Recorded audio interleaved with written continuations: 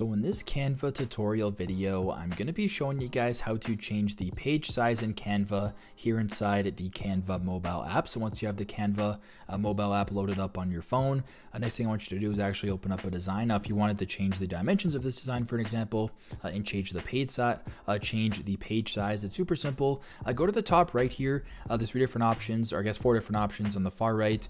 you have that option, then you have the download option. I want you to press on this third option right here. So there's three um, sort of, uh, I guess, squares here. I want you to press on the three squares right here. Uh, so now, as you can tell, you can actually resize the poster. So uh, if we wanted to make it, you know, you know, let's just say 1920 by 1080 for an example, we can go to where it says recent and, and do that. But also too, you can play around with it this way, uh, going with width and height. So if you wanted to make the width, uh, let's just say we wanted to go uh, in pixels for an example, we can change um, the width to, you know, 1920 and then the height can be 1080. We'll press on done. Once that is done, we're just gonna go ahead and press copy and resize.